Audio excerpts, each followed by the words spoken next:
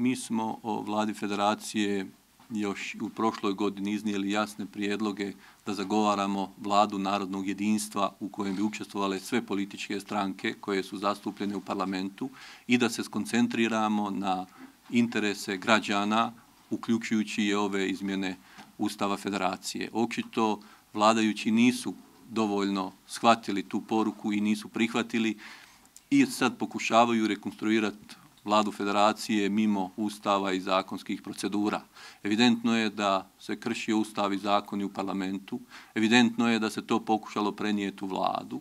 Mi smo u vladi jasno e, se suprostavili svakom kršenju zakona ustava, to ćemo nastaviti dalje. E, vjerujemo da nema vladajuća većina dovoljan kapacitet da naprave bolju vladu od ove vlade koju imamo danas i vjerujemo da do rekonstrukcije vlade neće doći uopće do izbora 2014. godine, nego da ćemo se skoncentrirati na ove bitne teme za građane i rekonstruirati ustav federacije umjesto vlade federacije, jer je to za građane puno, puno važnije i bitnije.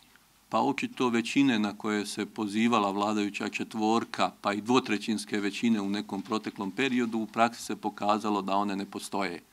Ja ne bih sad htio špekulirati, vidjet ćemo ukoliko dođe do tog glasanja, da li uopće vladajuća četvorka ima većinu u oba doma federalnog parlamenta za izglasavanje nepovjerenja ove vlade.